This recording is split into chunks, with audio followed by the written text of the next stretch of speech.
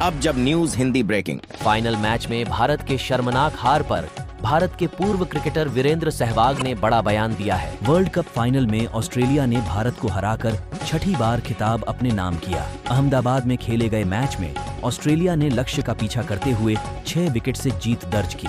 Australia की तरफ़ से ट्रेविस हेड ने शतकीय पारी खेली। कंगारुओं की जीत के बाद सहवाग ने उनकी जीत का बड़ा खुलासा किया। वीरेंद्र सहवाग ने एक्स हैंडल पर लिखा वर्ल्ड कप जीतने पर ऑस्ट्रेलिया को बहुत बहुत बधाई।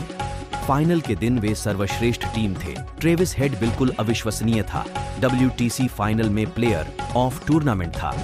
ऑस्ट्रेलिया के लिए सेमीफाइनल जीता और वर्ल्ड कप फाइनल में अब तक की सर्वश्रेष्ठ पारियों में से एक खेली और मैच को समाप्त किया। सहवाग ने आगे लिखा, चोट के कारण विश्व कप के पहले हिस्से में ट्रेविस हेड नहीं खेल पाए। लेकिन इसके बावजूद उन्हें टीम में रखने का ऑस्ट्रेलिया का फैसला सर्वोच्च निर्णय था। हमारे लड़कों ने पूरे टूर्नामेंट में जो प्रयास किया, उसके लिए हम अपना सिर ऊँचा रख सकते हैं। उन्होंने पूरे विश्व कप में हमें खुशी के कई पल दिए।